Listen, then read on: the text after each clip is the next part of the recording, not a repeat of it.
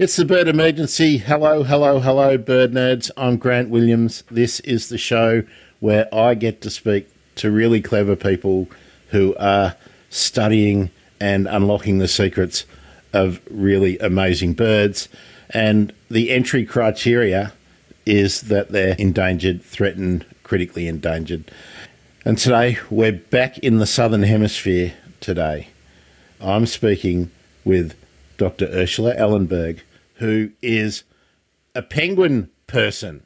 Hello, Ursula. Thanks for joining me. You're welcome. Hi, Grant. Good to meet you finally. I only know you via Twitter. Sorry, I was just laughing and, and thinking, oh no, she's read my Twitter feed. She's seen my she's seen my ranty Twitter feed. I do occasionally when I get distracted. Yeah. Tell me where whereabouts uh, are you located? We you mentioned New Zealand, the long white cloud, but you're not up in uh, Auckland and the and and the Sea Petrel Gulf area, are you?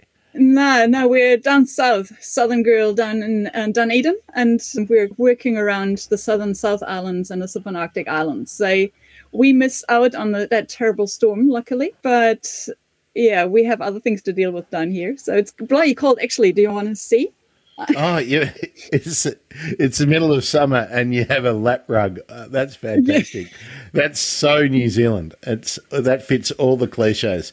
The only thing you haven't done is said, said "Hey, bro," or uh. Tell us a little bit about the habitat that the penguin that we're going to be discussing, the tawaki. How's my pronunciation? Tawaki is perfect. Yeah, tawaki. tawaki. Or never to Tawat. What What we knew about this bird in bird books when I was growing up is that it was called the crested Fiordland penguin. Is that yeah. the, the old name? So, yeah. is that how you refer to the bird now in scientific literature? Or has the Maori name been widely accepted in general communication? I guess we're making it more more popular. It's like the official Fiordland crested penguin. It's uh, quite lengthy and a mouthful.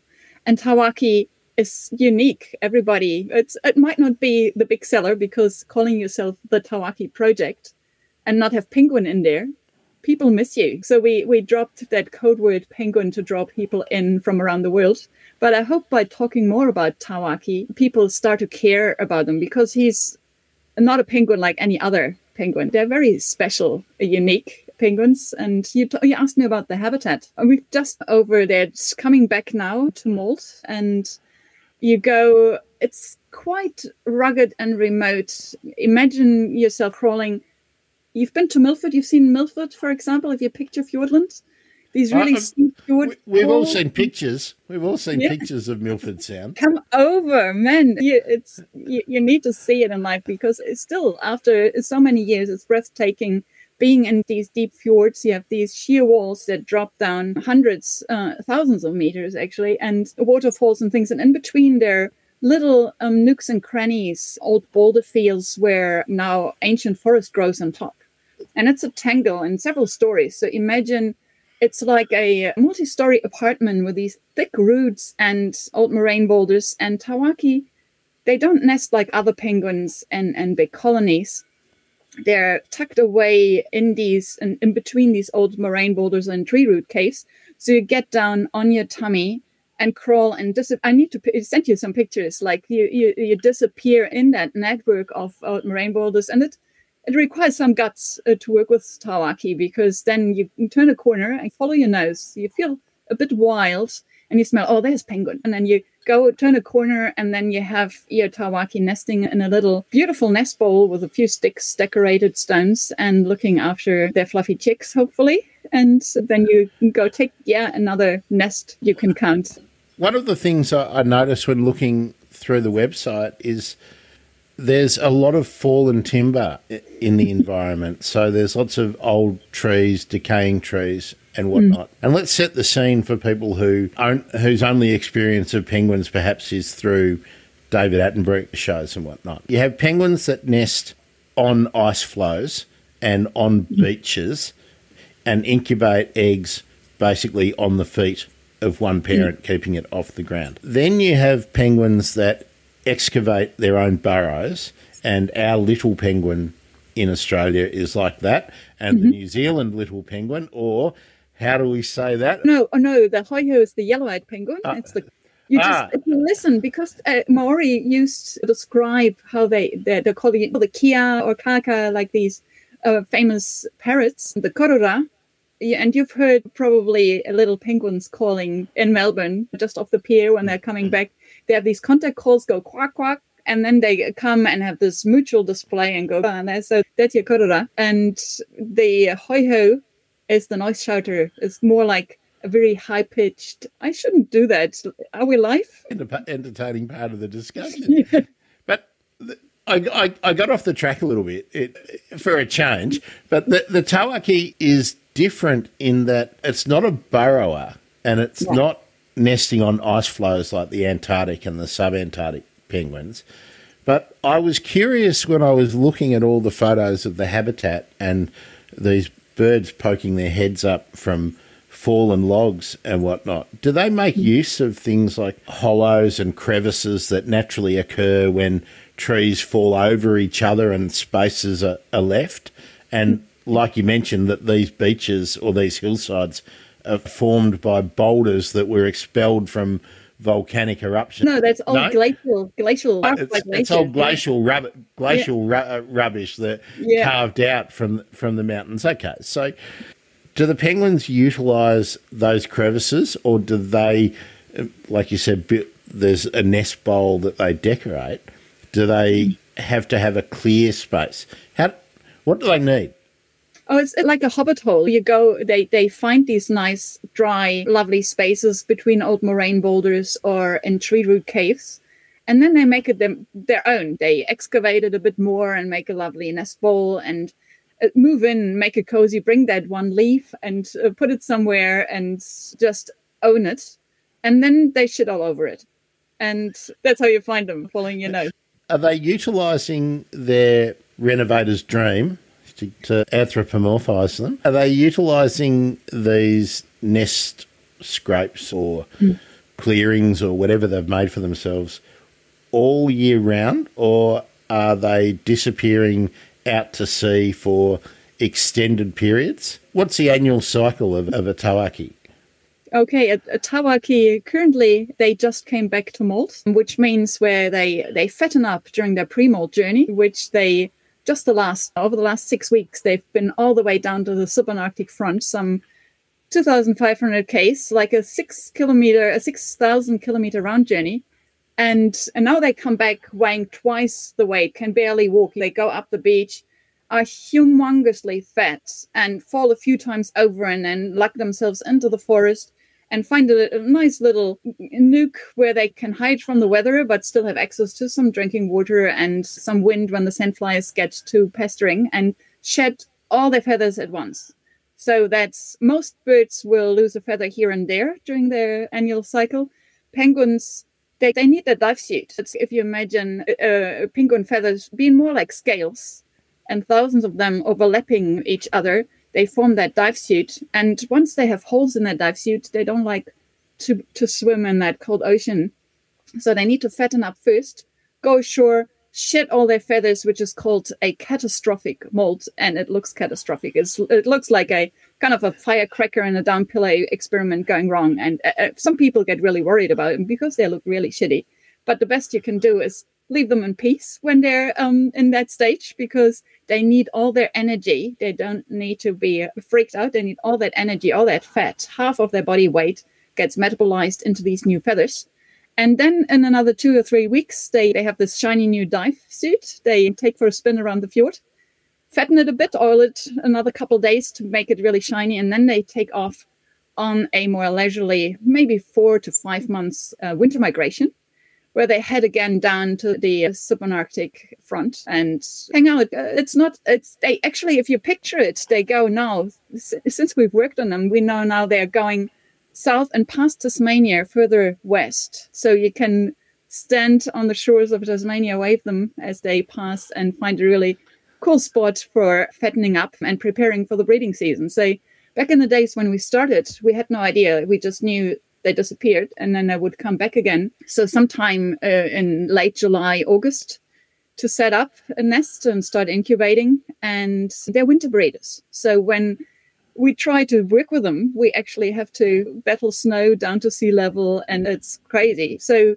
winter breeders, they set up shop, usually hatch their eggs in September and mid-September, mid-October is the chick rearing period. And as they, the, you know, chicks hatch and are really fragile, like very fine down and need dad to look after them as they grow because they can't thermoregulate themselves as, as they're really little.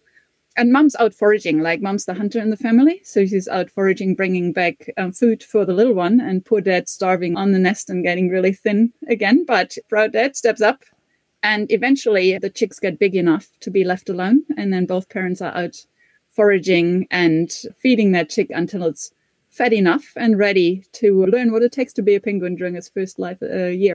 So many questions, but the first one when, when they're out when they're out at sea after they've molted and when they go out to sea to fatten up and they hang a shallow right turn at the at Tasmania, are they still hanging around in a loose what do we call it? Would that be a flock or a school? Or if they're on if they're on top of the sea would it be a raft? What? Yeah, actually would you would call them uh, like little penguins come in as rafts kind of find safety in numbers and then as the night falls they come and waddle across the beach quickly. So no eagle can pick them up or and eat them. Tawaki don't have that that problem. So they they do socialize in the fjords and have fun going for a spin with three or four other mates. And actually, we've deployed camera loggers we recently developed.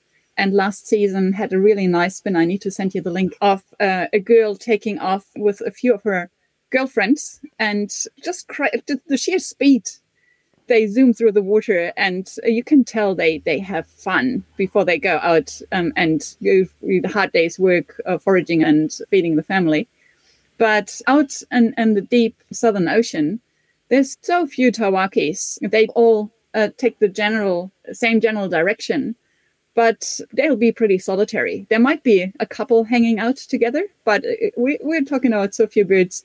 They're not going out in, in, a, in a big big team. They spread out. That that means I must ask the question: What's the estimated population, and how reliable do you think that population count is? Okay, the initial when we started um, with our project, the official count was five to seven thousand birds, and then we started looking, and we saw so many more. Then uh, it was mind-boggling, actually, because those accounts, Fiordland or the West Coast, they're really difficult places to get and there's been a, a fantastic uh, work in the early 90s by McLean and, and colleagues to go and try to get to a population estimate. And for example, we have one person on the team you might know, Robin Long, daughter of the Long family, raising New Zealand's remotest family. She grew up with Tawaki in her backyard and she yeah so uh, like back in the days when she was little it took them three days to get out there. Now she runs the 50 k's or so to to her family home in, in a day with a light pack. But she started counting penguins on the west coast and uh, those same areas that McLean and people counted. And in that one example McLean searched with four people and found some and i need to look up the numbers some 40 something penguins and nests and then Robin uh, came in, and it looks as if over the last 10 years, the population would have dramatically increased. It's really, she found every year she went back in to search for nests, she found more because she, she reckons it took her about five years to learn where to look and how to find them. And now, over the last couple of years, the numbers have stabilized at 370 pairs, roughly. So that's 10, tenfold of what we initially thought was there. So we're at the very beginning, we don't really know how many there are exactly, but we can say there's a lot more than we thought there would. And that's and that's, that's amazing news that we actually have a penguin species, especially crested penguins. They're really struggling, declining. We lost of the rockhopper penguins more than 90% of the population. And here we have a penguin, the Tawaki, that's doing exceptionally well and it's just so reassuring. Mind you, they still need a lot of help because they nest too close for comfort um, to people. To like, people are often the problem for wildlife, as you know, Grant. But they're doing much better than we thought. And I think you got to celebrate that good news. Definitely. It's not that often that we hear good news when we talk about endangered rare birds. That's generally the other way around. For birds that spend much of their life at sea, one of the great threats causing mortality is fishing. Mm. Now, is that a problem for Tawaki? And let's broaden it out to the New Zealand penguins in general. It's like penguins are pursuit divers. So they go and follow their prey, and thus they they won't be going on long lines. There's one example of a penguin being foul hooked through a flipper uh, accidentally, but it's not like the albatross that die being hooked on long lines. Penguins drown in nets, and particularly in gill nets or set nets, as we call them here on New Zealand. They're, they're a, a huge problem, particularly for the yellow. And we don't quite know how much of an impact it has on Tawaki but any net that is in a, um, a Tawaki foraging area will catch Tawaki, and there are records of Tawaki being caught in set nets. Tawaki like during the breeding season, like just like they have some preferences, and they like to forage quite coastal, quite close to these kelp forests. And that means anybody is going, for example, for butterfish would potentially catch Tawaki as well. So, is there a large part of their both their molting range and their their, their foraging range because they they have two two parts of the year, don't they, where they're feeding close to shore for part of the year, and then for part of the year they're heading off to the subantarctic. Are they often, frequently in in places where gill netting is common, or uh, are they? And is it close to shore? Is, is the problem for the netting a a New Zealand problem or is it, it an it international problem? no, in fact, for our penguins, it's very much a New Zealand problem that we need to manage and should it should be easier when you think about it because internationally it's much harder. But for example the yellow-eyed penguin they are just occurring in new zealand. So you'd hope that is something we we can yeah make happen make their life easier We'd hope, yeah, uh, we have all the solutions. We just need to get behind it and um, make them implement them, make the sea a safer place for penguins. But for Tawaki, I'm glad to report that along the west coast and in Fiordland, there's very little overlap. So I think set netting in the southern fjords and around Stewart Island will take the odd Tawaki, but at the moment, it's not a threat for the entire population or, or species. Okay, now for international listeners who are not uh, New Zealand, the, the, west coast is the bit that is facing Australia, and the Fiordland is the other side that that faces out to the Pacific. And no, no, no, no it's all, all on the west coast. So it's we have all the west, the west coast. What, it's all the west coast. We have the west coast, or we call the northern part of our west coast and then it drops into Fiordland where you have these really deep fjords. It's but it's still on the west coast, and, and then, then, as it comes around, round on round off the tip on yeah, the exactly. east coast, isn't it? Okay. So how far round? So the stronghold is on the west coast, which is the when you're looking on your at your school atlas, children. It's the bit facing Australia and round to the bottom.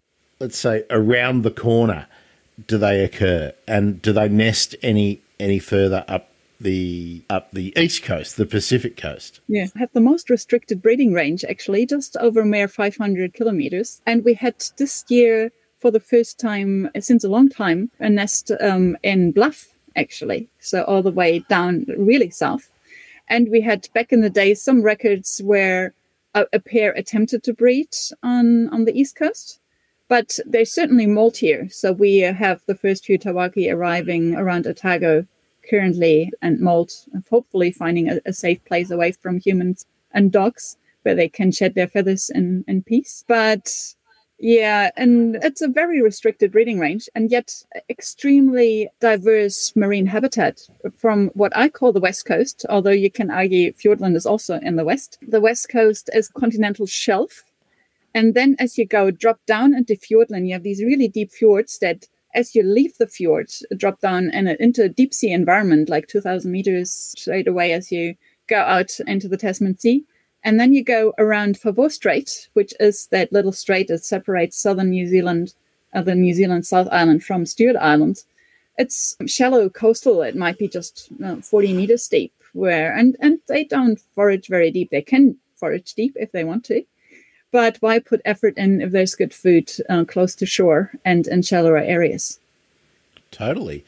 Uh, people will be familiar with uh, Stewart Island, I think, if they are into rare birds and New Zealand birds, in that the kakapo is also on Stewart Island. So is the Kaki and the kakapo, are they utilising similar habitats in that part? Will you find will you be stepping over Tawaki nests and at the same time maybe see a kakapo scurrying away, or are the habitats completely different? They, they are quite different. I might add Stewart Island currently doesn't have any kakapo on the main island. It's on Whenua or Codfish Island, a ne- small yeah, kind of door. island yeah. island. That's that's predator free because kakapo and predators introduce predators. Oh, they don't oh. they don't go along. Well, that, uh, but, that, that, was where I was going to go next. But let's talk about the differing habitats that they exploit yeah. because uh, New Zealand's been very successful in marketing itself worldwide as a tourist destination, but I don't think people really know how diverse the different habitats are. The the wild places of New Zealand are at and some habitats are extremely localized. So tell us about that that southern portion of the South Island. Yeah.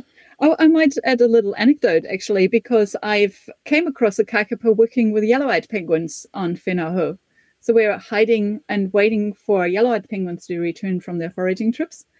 And my field helper got really excited and heard rattling and, and crashing around the forest. And it was his first night in the forest. And I was, because like, I think there's someone coming, it's like wrong direction. You're heading, like, look to the beach. It's like, oh, there's some, it's really big and it's right next to me. It's, oh, it's a kakapo. it's what the hell? I'm working here since decades. And he, in his first night, gets a kakapo walking over him as we're waiting for yellow-eyed penguins. It was uh, amazing. So that really made his night. Uh, the next nights were, were less exciting, but just penguins. But they certainly hang around in these lower coastal, these podocarp forests, the, the kakapo. All they prefer, they're spreading out across the entire island. They prefer the, the higher hilly areas uh, when they do, the males especially, when they do their booming and attracting mates but they can they have feet they might be flightless those kakapo but they can cover some distance yeah did, did you just refer to the forest as Podocarp forest? So Podocarpus, uh, we're familiar with with that genus here. Is, is that the dominant? Uh, I'm assuming it's going to be the dominant tree in the forest. But what kind of all of the photos that I've seen and on your website, there's all these aerial roots. Like the trees have got these spread out aerial roots as well as fallen logs and and whatnot. Is that mostly Podocarpus, or is it a is it quite varied in the it's in- incredibly diverse of forests over here. We have you know lots of, for example, in Harrison Cove, where I've just been last weekend, there's a rock fall and it's been overgrown by pioneer fuchsia trees, which have these curly, quirky roots around these boulders from the rockfall. And that's again, or we, you have kamahi and other beautiful old rata trees. We have all sorts of very diverse trees, and, and podocarps is, is a whole group of trees that are just in in that yeah in, in that group. But it's quite diverse as well and with different habitat uh, requirements. And so you go through a west coast forest and it's mind-boggling not only the trees all those different ferns and, and mosses and lichens you have there and little epiphytes it's uh, like growing and down in different stories and you have these fallen big giants. By um, totara might be fallen or an old rata tree and then there's seedlings on top of it that start to grow and be big trees again. So it's a even in a, in a very small like a hectare you have lots of different species that yeah nowhere uh, like it's, it's like it's hugely diverse. You as a botanist i think most people look at a look at a forest or some greenery and say, oh, there's grass and shrubs and trees and other green shit. And then you have a botanist going in and going, wow. And it's just popping out all these crazy Latin names them. It's, yeah, it's, I'm still learning and it's absolutely beautiful. Like you never get bored in that forest. How familiar do you think the general New Zealand public is with that really wild part of New Zealand? Do they understand how complex and unique and amazing it is? I think the, the landscape is very much appreciated, like these crazy fjords and waterfalls and, and things. And a few people would go and be delighted about the diversity of ferns and other bryophytes, I imagine. But I think there's great appreciation uh, for the beauty. Although, if you're not able to name different ferns, uh, you can still appreciate how different they look and how beautiful they are and how decorative they are around a penguin nest, for example, especially when you grow up and see all these penguin documentaries and big colonies. And then suddenly you have these elusive rainforest penguins that sneak on little hobbit pathways into the forest and hide behind some trees and some ferns. That's probably a point worth exploring. That we are, I mentioned at, at the start, that the all of the David Attenborough documentaries and all the recuts that have been done a million times over have got us very familiar with Antarctic and subantarctic penguins. Are New Zealanders familiar, do you think, with the three mainland breeding penguin and what uh, I think is it 13 species of penguin recorded in New mm-hmm. Zealand or is it yeah. more? No, it's 13 if you depending on how you split them up. I- Controversy. like we've got time to explore it. Let's uh, let, us talk about that. We've talked about three species: the yellow-eyed, the the crested fiordland, and the, the little penguin.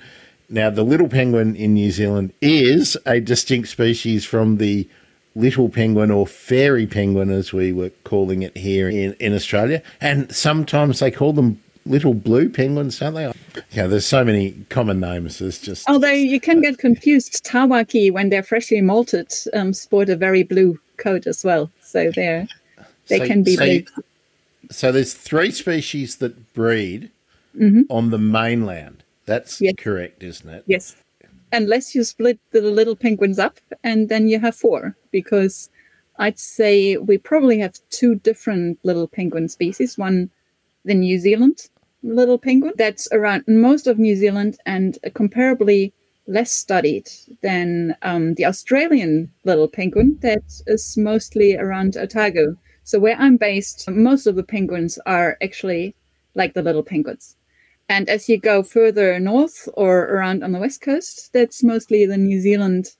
You can call them subspecies. They're probably pretty close to, oh, there's good arguments to make them two separate species. But uh, I guess you can, it's all definitions. Like we don't argue about it. It's from a management point of view. Yeah, we need to learn more uh, about the New Zealand little penguins because we already know quite a bit about the Australian well, um, species or subspecies surely someone's doing a PhD on the genetic work to split those species. There's a good paper in that, isn't there? Yeah, no, it's already published actually. Stefanie okay. Grosser has done that and argued for two species. Which camp do you reside? I'm not too worried actually. It's, species is just a convention and you can go with different definitions. Is, is it a biological species definition or some other uh, species definition? But I think as long as they don't and you have different for example different ducks that all hybridize and interbreed and we still think they're different species. But in that they hybridize very little. There's as far as i know they they breed quite separately. So in the colonies uh, around dunedin and oamaru it's mostly the australian little penguin and over, for example, on the West Coast, we have the New Zealand little penguin. And I'd argue they differ also slightly in, in, in shape and size and some habits. So for the, for example, the Australian little penguin is much more productive. So they can lay two, sometimes even three clutches in a season. There's probably one record, I think, of a New Zealand little penguin attempting a. They do replacement clutches, but actually raising two clutches is pretty unusual for little penguins for the New Zealand species or subspecies, which means they're more like they can't recover as fast from any disturbance as the more robust uh, Australian counterpart could. And I'm less worried about whether we call them a different species. I'm more worried about what we do from a conservation management perspective. If we want to safeguard them, we need to understand their um, biology and habitat requirements, and we need to learn a lot more about our actual New Zealand little penguins. Yeah, and there's good work being done at the moment, mostly by community groups all around New Zealand. Good old citizen scientist. So we're we're talking Tawaki, but little penguins are, are, are, amazing. So, just to extend that discussion a little further, if those two populations of the subspecies or species, however we classify them, are quite distinct, are they ecologically distinct as well? Do they occupy different niches? within the environment, or is one a functional replacement for the other in the different ranges? I guess I, I, would split it up even further because we have such diverse marine habitats around New Zealand that they have they play different roles in their different habitats and have if you're a little penguin in Motuara going into the Foveaux Strait, you need to go way further and put a lot more work in to feed your family than you would uh, if you feed off Oamaru, which is has very productive waters very close by. And so they go for different species, have their different favorite foraging hotspots and things. And in terms of replacements, we could. Uh, I'm surprised, like after all these years, uh, they haven't expanded further. Like they're quite localized. Our little penguins, they're still in Otago, so they quite like it here, and they're not that invasive, ex- expanding, crazy conquistador of penguins. They live next to each other quite happily. So they're they're not the rainbow lorikeet of the penguin world. I probably was misapplying the terminology replacement and whatnot, but I get I guess what I was wondering about is although although they're foraging in different areas and they're not overlapping a lot, and the opportunities to forage are quite different because of the locations they're in. Are they choosing different foods? Do we know that? Like, is the specialisation actually got down to their dietary requirement? I, I, guess they are going uh, for what's there and whatever the habitat provides, and uh, they need to be um, adaptable in our changing environments. So they yeah, they do take a diverse range, but they like these small oily if they're available because that's good for raising chicks. High um, energy but, for the, yeah, the exactly. amount of energy that they expend. Yeah, exactly. But as I say, we know comparably little about the New Zealand little penguins. So all our knowledge comes from Phillip Island, for example, and other really well researched colonies around Australia. And then down here, especially Oamaru has been very, the Oamaru blue penguin colony has been very uh, research um, intensive and have yeah but again they have the australian species or subspecies. That's that's surprising uh, to me. I don't know much I, I, don't know much about penguins in new zealand obviously because i've been labouring under the misapprehension that all the little slash fairy penguins in new zealand were yours and that the odd straggler might turn up Australia. No, that's all Aussies here, and Otago um, Aussies rule. But, which is funny actually, because you'd expect the straggler arriving somewhere on the west coast, but they actually established in Oamaru and around the Otago Peninsula, for example. It would be really amazing to be able to examine the fossil record uh, the, the, and the modern debris to, to actually determine who brought them here yeah, how it happened, when it happened, but little penguins do. They cover so much of the Australian coast. They're obviously great. great they, they, some of them even made it over to Chile. Yeah, I yeah, met a, a, a, stuffed little penguin in in Chile, and you wonder like how we don't really know much about the southern fjords. Who knows? Well, Maybe they have some living well, that... little penguins down there as well in in Chile now. So uh, there's so much left uh, around this world we don't know. And that was really where I was going to go next. For countless thousands of years, probably, penguins had New Zealand to themselves. They had to share it with the kakapo and the kaka and the takahe and the woodhens and whatnot. But then the Maori arrived and mm-hmm. they started eating tawaki. Is that is that right? They yeah, were, uh, absolutely. Uh, yeah. yeah probably uh, more yellow-eyed, not the, the pre- predecessor of yellow-eyed penguins. They got eaten to extinction or harvested to extinction some 500 years ago. And but certainly we find all sorts of penguin uh, bones in middens because it's a nice parcel. They come and you pick them up and can feed your family, and you can transport them and trade with them. So lots of communities around the world have been eating um, penguins. Go over Humboldt penguins um, and, and Chile. They've been eaten by coastal communities since more than 11,000 years. And you, as hunters, you change the population because you pick the easy prey and the survivors are the shy which means that's why we have so many extremely shy Humboldt penguins. They have learned that people are predators that might potentially eat them. And same with Tawaki and yellow-eyed penguins here. They were just too easy prey, so they got they grew wary of people.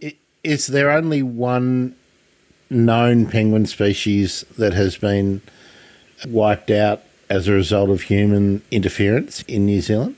And no, there's a, a, crested penguin on the Chatham Islands that has also been hunted to extinction.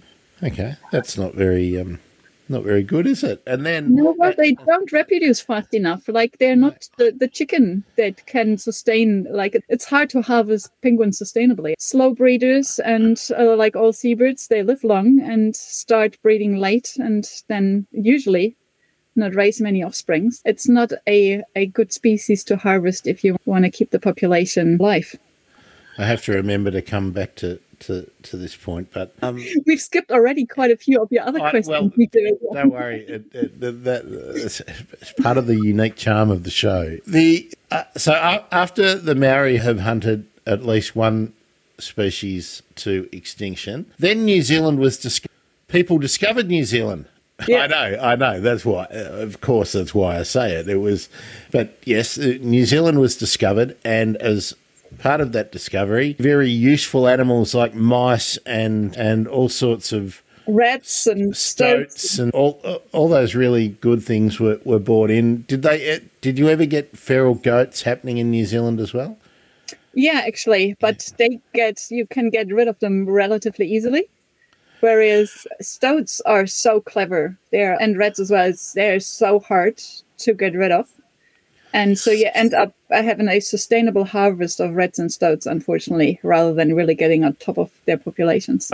I know I've spoken to Andrew Digby about about those animals and their effect on uh, kakapo and takahe, mm. but how have they impacted the penguin species and particularly Tawaki? They uh, actually do even now. Like we have stoats, and uh, even a single stoat can empty out a breeding colony that go around and see stoats are so uh, such a different predator from cats. Like a cat is quite a, a careful predator and doesn't have uh, nearly as much impact as the stoats on, for example, Tawaki. The a stoat would go in and on, on an incubating penguin go, excuse me, and steal an egg from underneath an incubating penguin. And also, for example, stoats go and attack prey that's uh, maybe 10 times their size. So we've got track camera like video footage of a stoat. Once the chicks are getting left alone and both parents are out foraging, that you have a, like a, a good size, maybe two, uh, two or three kilo big chick on the nest, nice and fluffy lots of fat and the neck to, to chew through.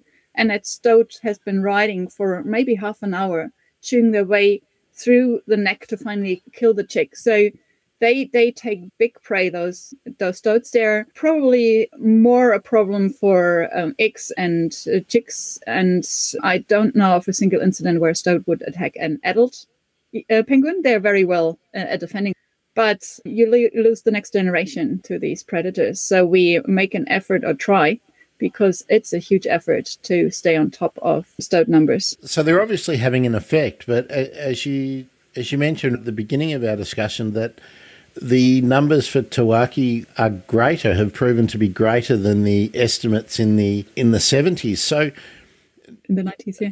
yeah the 70s and then the 90s, obviously, mm-hmm. with the, the more detailed work. But are you confident that they are now maintaining their population level or no? No, you can't really talk about population trends if you have no reliable. Okay, so that was what I was going to get to next. Is it because we don't know, or is it because we have measured a decline or an increase? It's just simply that we don't know. We suspect there is an ongoing decline in some colonies, but the the method uh, monitoring those colonies initially was quite flawed in looking at a plot, a stationary plot in a forest, and penguins move in and out these plots and find other places and decide to uh, you know breed around the corner. So you have to think bigger and search a larger area. And then it's so difficult um, to even find all those nests. So we tried double counts where you send in two independent teams on consecutive days searching the same area and you mark nests that are found by one team and by the other team. And by that time, you have a simple mark recapture and see which nests had been found by both teams. And in some areas, you have just 70%, you, you only found 70% of them and can extrapolate how many there might be in total in, in the area. But it's actual accurate numbers. People don't realize how hard it is to even get oh. population oh. numbers, let alone population trends, and then see when you have a declining population, what are the drivers? And it's always easy to say, oh, it's fishing or it's predators or it, it's on top of each other and climate change in the mix changing the marine habitats. And I'd, I'd argue we know a lot about the threats. We know they're having an impact. We, we are not at the moment in, in a stage where we can reliably quantify how large that impact is. But we know um, they're have, having a hard time with all the other changes where we can't do anything about in the short term. Like we're not uh, pulling the, the, the switch on climate change anytime soon, and certainly not us alone here in New Zealand.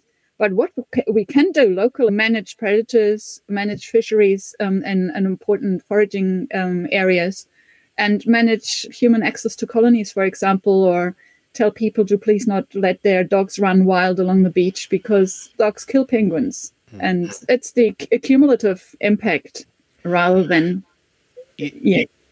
You very kindly introduced the ideas about methodology, about how surveys and counts had been done in the past, mm-hmm. and then how monitoring is done now. Can you tell us about how the availability of new technology and think geolocators, backpacks, camera traps, acoustic recorders, all those kind of things have helped you adapt. And, and I'm guessing you get much better results for a much less outlay of public funding, which I'm sure you're you're. That, that's right. I'm sure the government loves to hear that. Good, we can give them less and still get more. So, tell us how the study of penguins has changed in New Zealand in the time that you've been involved? When we first started, you know, we they were the first GPS trackers, for example, and they were huge breaks, and we took them down to the Snares Islands to learn more. Back in the day, we knew a lot about breeding bell, but we had no idea what happened out at sea and with foraging ecology. These new novel technologies that allow us to track penguins with ever smaller devices and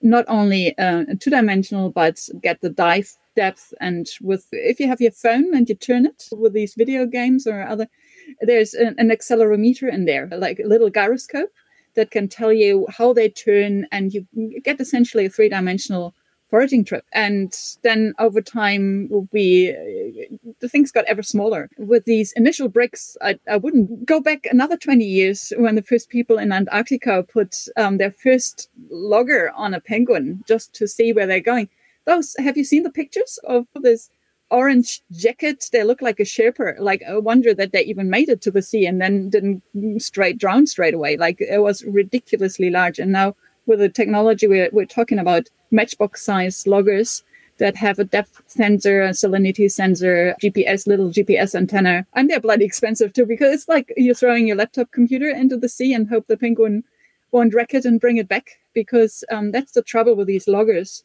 you have to get them back to read the data. To get and, the data. Can, can, can I ask you, you just said that they're hellishly expensive. For, for people who aren't in the field, what, how do you design a study like that and what does it cost? How many penguins do you need to put your, your, your little matchbox tra- recorder. I nearly called mm-hmm. it a transmitter, but it's not a transmitter. Yeah, you can have transmitters as well. They just have yeah. an antenna poking that, out. That, that's yeah. right. That's that's a different thing. So let's let's first talk about just like the the data logger, which is not a transmitter.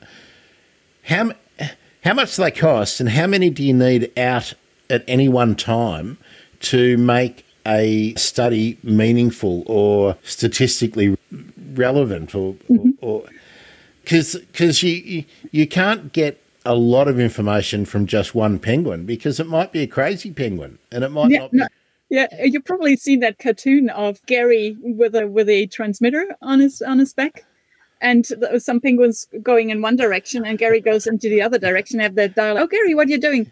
Oh, some scientists put a, a tracker on my back, and I'm I'm heading to Belgium. I'm, I'm, messing with their heads. Yeah. Yeah, they, they, they, you have some crazy penguins. So you want a few different ones, and ideally you want some males and some females as well. So get, and then you dream of eventually knowing what the juveniles are up to, but that's an entirely different story. But you're gonna be prepared to lose trackers because the way we put them on a penguin as it's like essentially with Tesa tape on the feathers and you want to be able to remove the logger again a week without damaging the feathers because they're needed. You don't want to damage their dive suit, which means uh, some other, if you go for a longer distance migration, you might be prepared to glue it onto them properly. And then they mold the tracker off, but they got to log that device around all the time. And that's it's quite an impact on a perfectly hmm. streamlined hmm. body. If we're working during the breeding season, for example, our larger cameras, we would put on only for one day and the much smaller GPS dive data loggers they carry for a, for a week, so we get su- subsequent foraging trips. Sometimes they stay out over overnight. In extreme cases, in a really poor foraging conditions, there might be away up to days out, and but eventually they come come back and uh, feed the chick and uh, bring the logger back. And in some areas, like in in uh, Fiordland, they sometimes do even two trips a day, so you get lots of trips, but quite localized and uh, you need a good yeah a good base of data to we never have enough that's the reality. And we're making do of what we can fundraise. And these trackers are uh, $1500 depending on how many bells and whistles per match box Per- per unit yeah. And it's yeah you just hope our cameras are more expensive. Just the just hope they bring them back but sometimes they drop. They they lose Yeah. them exactly Yeah. because you don't want to um, have them uh, permanently installed. You want them installed in a way that you can remove them relatively easily again. Recapture the penguin, need five minutes, take the logger off, and let them go again about their business, like up the hill to feed their chicks. You try to minimize that impact you're having. How well do they adapt to being trapped, handled, and and fondled with their scientific equipment? Are they? It's always a, a concern. There's all sorts of ethics about disturbing the natural behaviour of of any animal t- in order to to study it. Do they adapt well to it? And and actually, here's the next question too. I'll throw. and I haven't even answered all my No, funding no, wishes. I well, thought I would well, hold up a well, list and say, well, but now we are on the next thing. Well, we, we'll- okay, we'll back, go yeah. back to it. But thi- this question is really relevant, thankfully, that uh, they're quite long lived birds. So, how long, on average, can a pair of tawaki live? And then the the link really is how many times will do you think they might be handled if they're in a, a, a well studied colony or population? we uh, like we, we don't have well studied areas quite yet we're, we're just starting with the tawaki Uh, but we know a lot about the hoiho the yellow-eyed penguin and the oldest penguin i've come across that was still breeding uh, was 25 years and you could see like in old dogs you sometimes see these Yeah, kind of yeah and, and that penguin yeah certainly looked quite old and i don't i haven't seen it again but they can i think they, with tawaki I'd, I'd, if I had to guess, that there will be some in the wild, and I've seen some really old penguins, but they were not marked like males with a huge honker, and that that beak uh, uh, continues to grow and quite grey in the in the face in the top face. Saying that because juveniles look super old. If you're one year and you have a grey beard and and you, you look like you've you're done for life. They look so old, and yet they just survived their first year, or must have been a really hard year. And then they mold into the pretty um, adult plumage and look nice and shiny and young again. Wish we could do that, Grant. Actually, Yeah, that's that's a, that's a really good factoid that I didn't know. But I, and I'm going to assume that it's um, common across penguins that it their bill continues to increase in size. Their bill is not like um, other features, like other bones that once they reach a mature um, age, that's how big they are. But mm-hmm. their bill just continues to what thicken and become like the antlers of a of a deer. How can you compare that that, yes. the, that this thing grows grows? Of course, the, the deer molt them off, but uh, it's probably mm. more cattle cattle's horn. Oh. but do, do you think that a big bill is like a really nice tail for a bird of paradise? Uh, you know, not at all. They're just the hunker to defend their territory. So you have different sizes. Like penguin, like people always look at penguins and think males and females look the same and they don't. Like once you work with them, the male is like in, in Tawaki is a kilo heavier, has a much chunkier bill just to start with.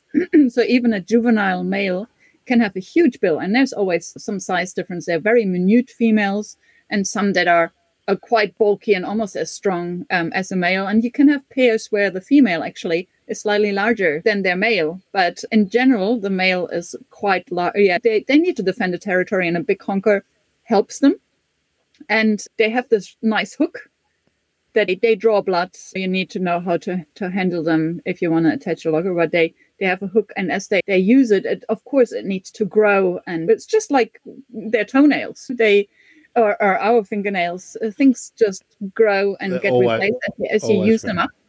And that's a big trouble actually with some zoo penguins that don't have enough to work off their beaks then they get this overgrown, funny, sometimes crossbill beaks that just, yeah, or hooves or something. You need to maintain a wild horse running up some uh, crazy scree fields will work their hooves much more than uh, a horse on a paddock. So it's not growing, you know, quite as fast, but it's certainly there's a trend that older birds often have bigger bills. So, and that's just it's we don't have, and we're still, we just started to mark birds. So for Tawaki, it's a gut feeling. A lot of what I say, I don't have the hard data quite yet because we're just now, we, if you mark an old bird, you don't know how old it is. It's adult. And then you can follow it through and, and see it a couple years later, uh, again, raising an, a successful um, a, a chick and say, you look bigger mate you had a really and and bigger in terms of they uh, grow twice as fat just in preparation for the molt as they go through very big phases and quite slender phases with the breastbone poking out after molt if they they had a, a hard season. But that beak you can always tell whether it's a male or female because that honker is really standing out. And i can send you a few cool pair pictures always love penguin pictures and, and, and being able to share share them around. We were talking about about the cost of of that particular data logger, and I'm I'm guessing that the transmitters are probably a bit more expensive, and it costs a lot of money to have people in the field. Personnel is usually the largest cost of any mm-hmm. kind of project. And you said the word fundraising. So Tawaki project is fundraising, is that right? yeah.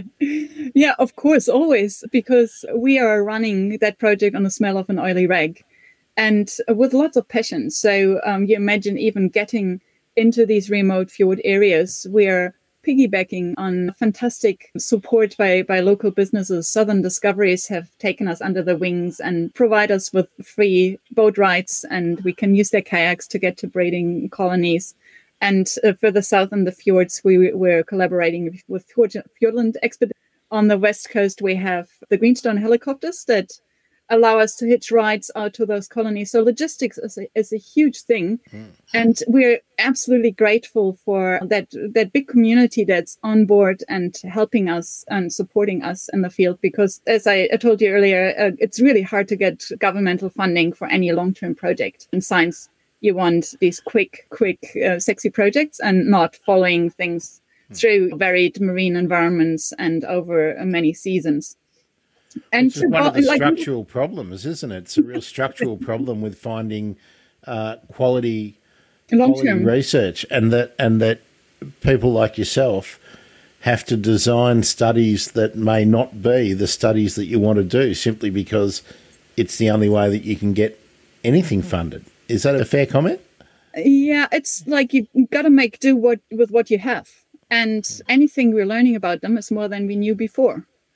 But in an ideal world, you would have more devices and you would have more people in the field, and you'd ideally have be able because currently most of the people in the field last actually last last season we didn't have anybody mm. on a salary like we've been all including myself working for free in our time off in order to get that sort of data. And I have really skilled, great people that that um, work with us since a long time, and I would wish I could offer them a salary, but at the moment uh, we can't, and they're still on board and still passionate. And but I think conservation suffers from always assuming that people work with passion and for free, and somehow they gotta feed themselves as well that's one of the great problems, isn't it, about conservation? Because we, we I'm associating myself just because I, I, sit here and do things for no pay, but I'm not.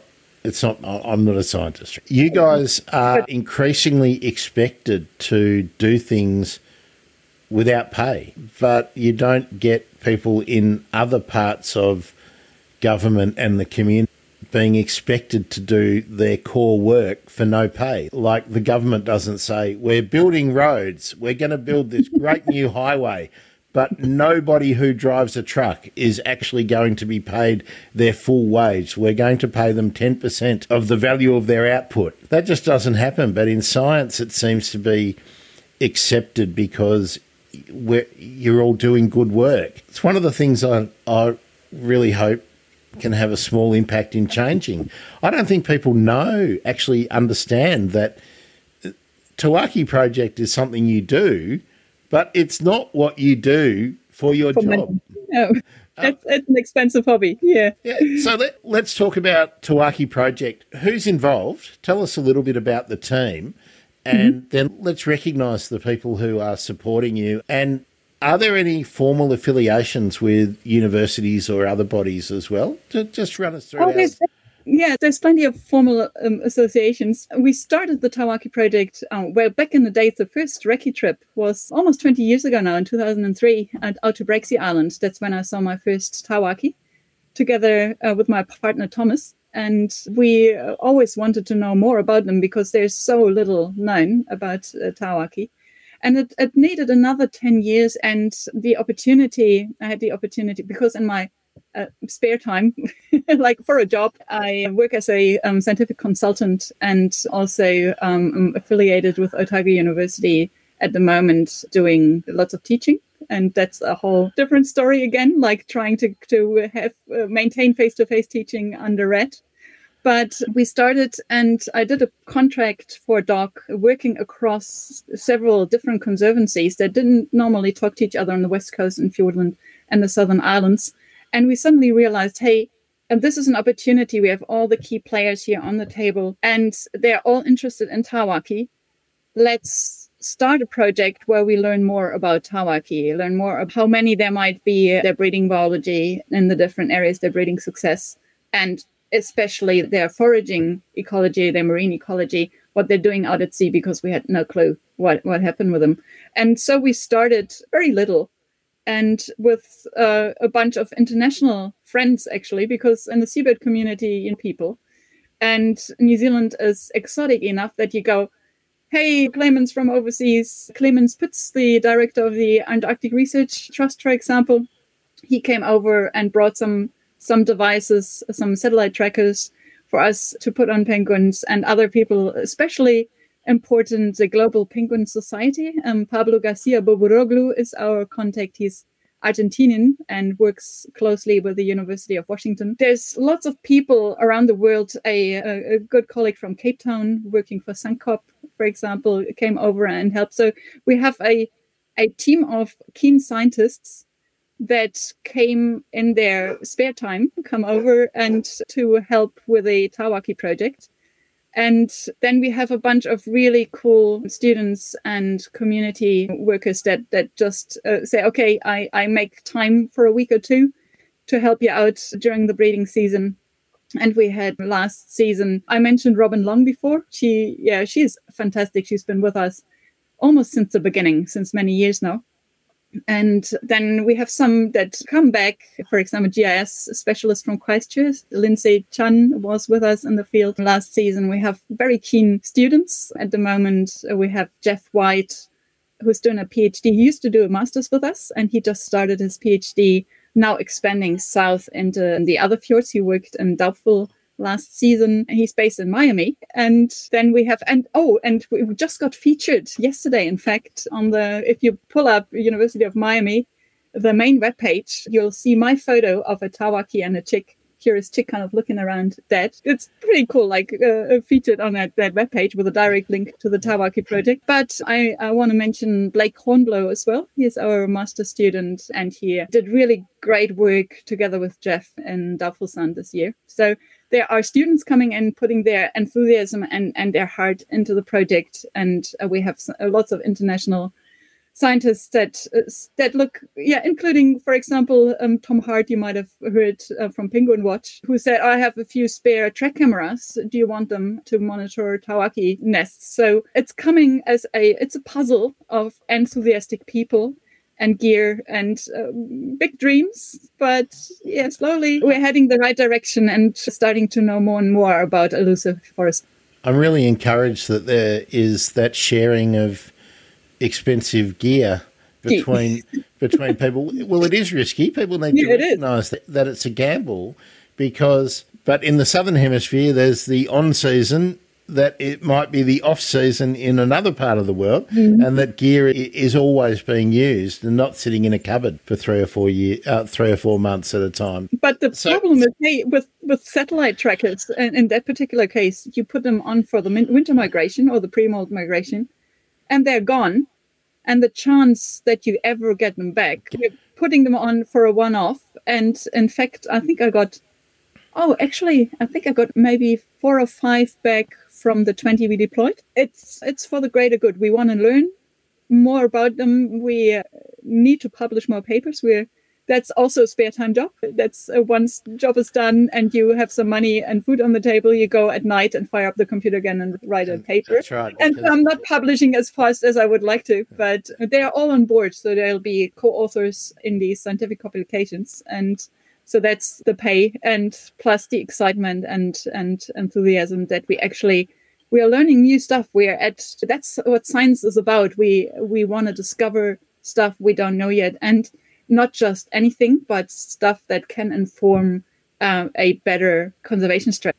And it's really great. You mentioned you've got local businesses that operate in the in the region, in the broader region, that are helping you out because getting into remote locations and spending time there and moving from location to location mm-hmm. is yeah. wildly expensive. We really need to congratulate those businesses for being involved and please, bird people, if you are going to New Zealand, you need to look up these businesses.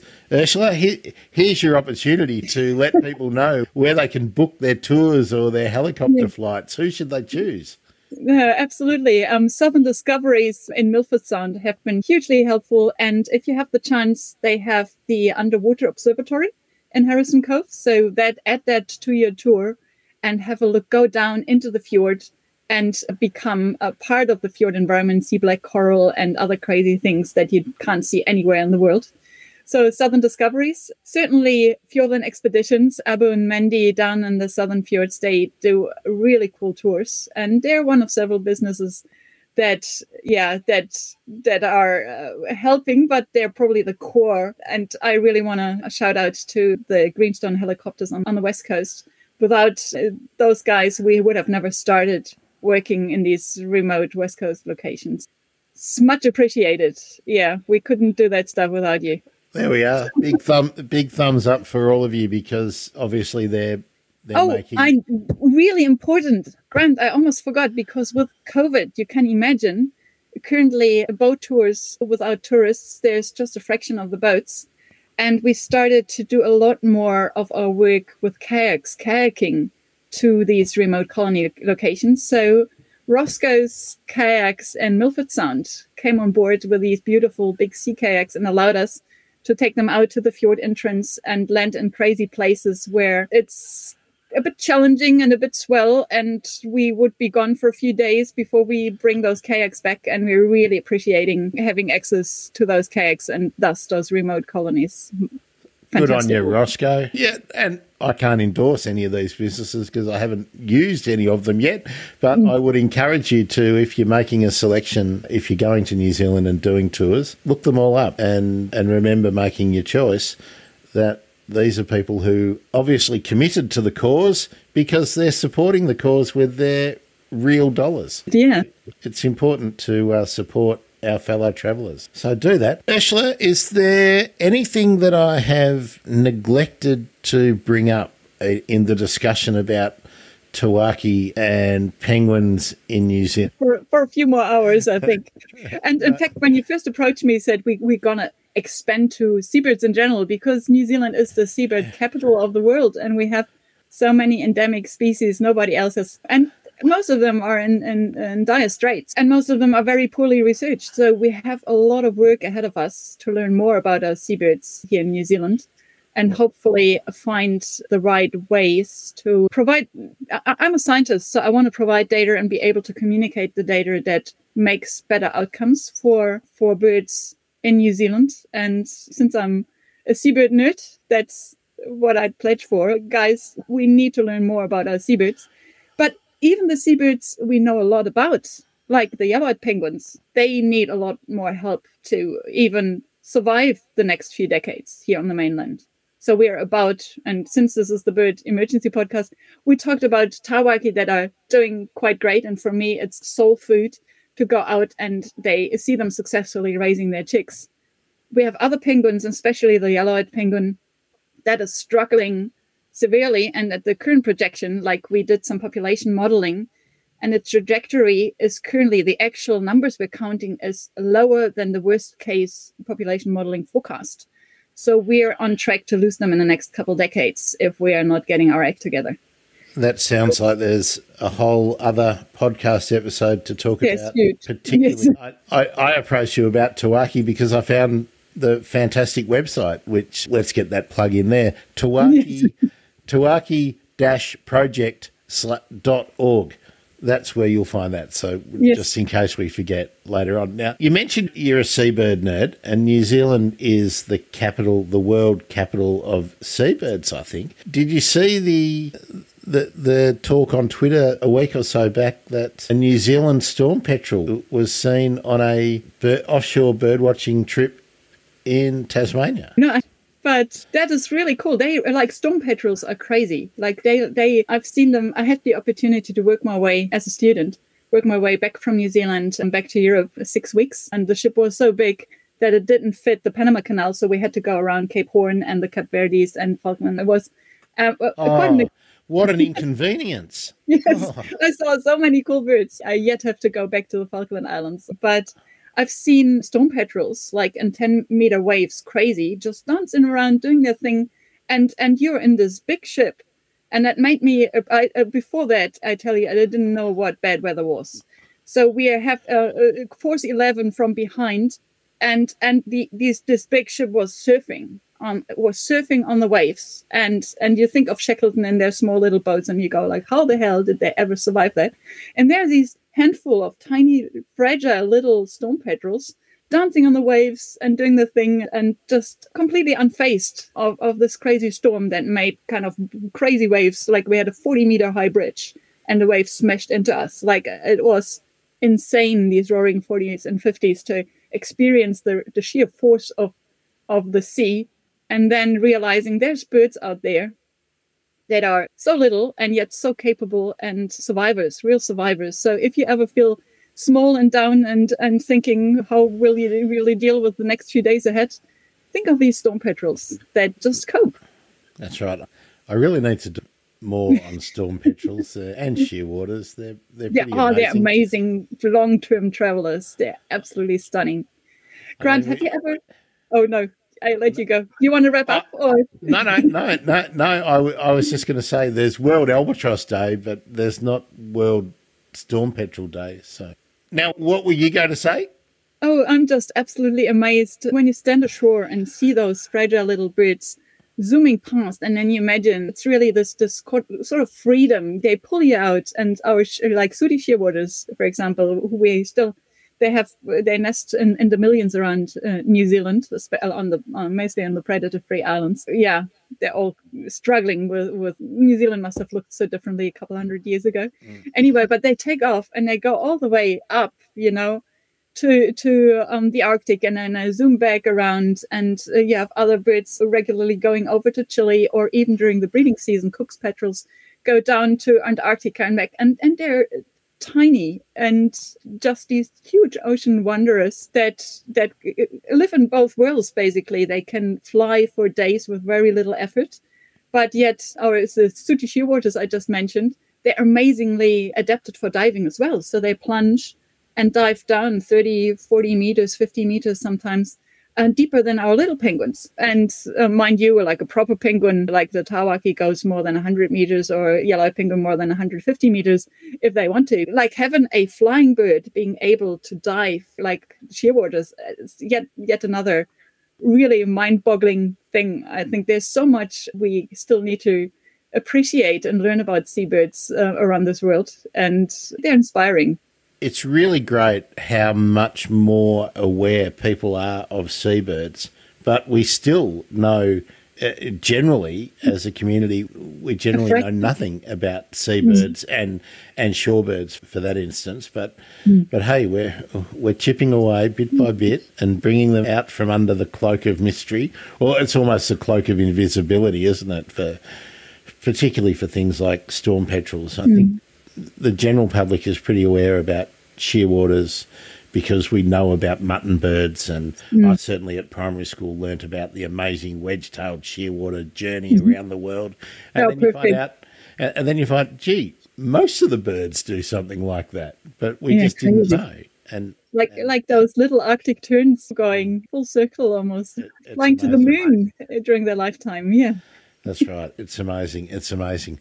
All right, let's let's tackle the the bird emergency questions, Ursula. I, I don't know. I don't know what you're going to throw at me, so good, I probably should good. have actually. That, that, then we don't get a rehearsed uh, answer. Now you travel to uh, many locations looking at birds, but so we'll have to break this into two questions. When you're in New Zealand and you're just out out in the field, what field guide do you take with you? I don't oh. think you oh. need one for penguins, but for general birding, what do you use to identify your New Zealand birds? You, to tell um, your tomtit from a tui. See, the, the thing is, the, the we have so few terrestrial birds here that uh, general seabird guides are uh, what I would use on the Harrison on a ship. But if I'd go just uh, somewhere into Fiordland and wanna wanna look, in fact, if I have internet access, I very much like New Zealand Birds Online because there you have these little sound snippets and you can you look the calls. and yeah, and you have all the different because there's different dialects depending on where you are, and it's just fun to explore. And I've, I've also contributed. I've uh, written a little uh, blurb about the Tawaki in, in the New Zealand Birds Online webpage, so check that out. But yeah, I, I, yeah, no, I absolutely love that. But if you uh, insist on a book, that you want to take. See, books are always so heavy. Like I am a lot in a backpack, so I don't often take books into the field, I must admit. I have my little diary, and then I, I take pictures if I get confused and come back and figure out stuff later, especially getting on my fish and other crazy or my botany. But the Heather and Robertson, I think, is the standard bird guide I'd recommend for people um, that just come to New Zealand and um, want to learn uh, more about um, New Zealand birds. But title, title is, has it got a good title? The Birds of New Zealand. it's just birds, I think. I'm not even sure. It's any that I, there's got to be probably birds of New Zealand. You're right. There's got to be New Zealand somewhere in the title. I, was going to say you, you, that would be a good one to go shopping for in the bookshop. I'd, I'd like the book called Birds of New Zealand. Without the extirpated, the expurgated version. Sorry, if you don't know, if you don't know about Monty Python, that last bit made no sense to you whatsoever. And if you do know about Monty Python, you are reciting the rest of the skit. No doubt. Okay, Ursula, we've almost worked out the next question. It's not going. It's not going to plan. So I'm guessing that your your phone is like your must-have piece of kit for the field or is yeah. it your notebook? I the phone I have a little database in there um, where I record nest checks and everything, and then you just press sync and it's in the cloud and you That's don't right, have and to worry about transcribing. And with transponders, you just scan the number and you have it. And else you have this, I don't know, 15 digit transponder number that's so error prone. Like back in the days when I started, I've been writing band numbers in, in these waterproof field books. And then you go back, you're, you're not even a yellow-eyed penguin. You're uh, some crazy other thing banded on some subantarctic islands. Where's my number twist? And you go back through the database and try to figure out what You've you've got to work out wrong. what er- what area you made. You know, so- these days you, you run around the forest like with a transponder gun, like these uh, big things you use for, Yeah. for cows usually. But you can sneak up and often read read birds. Like Yeah. uh, now they have just like um, cats and, and dogs, they have a little transponder chip in their neck.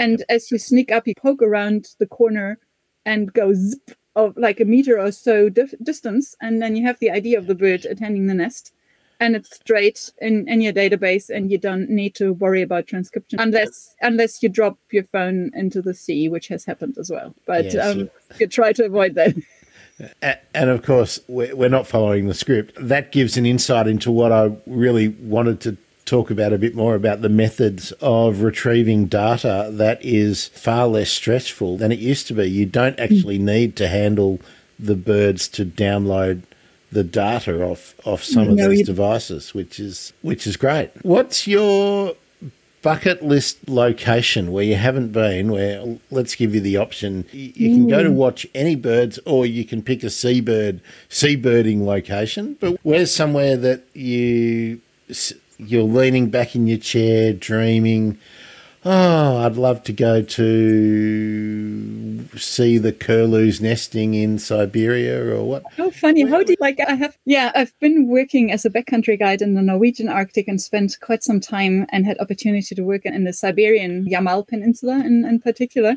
But i'm so dreaming of going further east and Kamchatka is a place uh, that was always on my list, and I've never managed to get there. And so there's, but there's so many places around the world. I'd love the opportunity to uh, work actually, because I don't think I just want to travel. I want to contribute and Yeah. uh, want to be part of a project. And then we, for example, in Siberia, we worked on scoters and long-tailed ducks and, and other seabirds. But there's all these other crazy birds that you then pick up along the way and be really happy about. So it's always yeah out there and with open eyes. And I'm not a ticker as such. I, I really enjoy seeing birds and seeing them behave in their natural environment, not just go. "Zzz, It was tick. I got my life list now is 400 something. It's more about actually spending time with them and seeing what they're doing. Yeah. Spending some time in some really cool areas in Siberia and Kamchatka. I'd love to go back to Canada. I had a year there, not nearly long enough. And so there's lots of places I'd like to go back and visit. And um, certainly down in Patagonia, like I'm, I'm you, you mentioned, like, I'm a bit attracted to those rougher areas of the globe, sea and mountains and not so nice weather. But yeah, so uh, I hope we have a seabird project kicking off in, in Chile that I'll have some more time um, spending down around those southern shores as well. Fingers crossed. Well, dear listener, if you're a regular listener to the show, you will know that Ursula, in that answer, actually covered a couple of the next questions. So that was really good. And there's obviously so much more to, to talk to you about in, in your career and where, where you've where you've been. But we'll have to do that uh, another time. But you're going to have to tell me now what's your bucket list bird? Oh, that's too hard. Oh man, if I'd known. If, I if, if you'd known, you would have had an answer just there, and it wouldn't have been half as much fun. They, uh, because it's always hard to just narrow it down on that one bird. Something achievable Something- and close. It's I haven't seen a New Zealand petrel yet. Can you believe that? Well, I can because un- unless you're heading up to the Gulf on the North Gulf, yeah. Island regularly, you're not going to. You know, that's where they hang out most. But Mm. otherwise, it's going to be a chance sighting because they just they just disperse. They just Yeah. go. Yeah, Uh, and they're yeah. tiny and easily missed. Yeah, I, I, don't think have I one. think that's a good choice. I think Yeah. that's a good choice. So the but the hardest question is coming up. Oh no. Yeah, harder still. This is the hardest question. What's the best bird? There's no best bird. Ah, correct, correct. Correct. There is no best bird. Every bird is the best bird. Thank Oh, you very much for that. All right. What's the best penguin? There we go. See, like I'm biased, so I'm really in love with those crested penguins, and I particularly like Tawaki. But I'm looking forward to spending more time with erect cresteds as well. I know very little about those, so maybe in a year's or two time, so you'll find me just bragging about how beautiful erect crested penguins are. But currently, Tawaki, they have my heart. What can I say? But back to your best bird thing. There's some birds that are best at certain things, and others are best at other things. And I absolutely uh, love, for example, the Atlantic puffins, because that's a seabird that got me into being chasing seabirds when I was nine and just coming along around uh, Norway and uh, kayaking in the Lofoten Islands. And as you come closer to those seabird islands, they're like like beehives and all these uh, birds zooming around and you come closer and then they you have these cliff nesting seabirds that are all black and white and, and not very interesting for a little girl.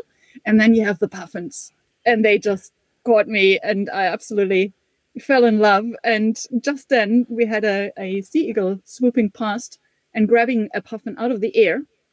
But because we are there human disturbance it got distracted and dropped it almost into my lap so I, I had straight away uh, that, then a very unhappy puffin, and I felt for it. But that was the first connection and seeing all the combinations of birds do what birds do to stay alive. And they're all beautiful. I'm sure the auks and the guillemots are really happy with your description of the just the black and white birds. You could apply it to penguins, and people got really, I get hate mail.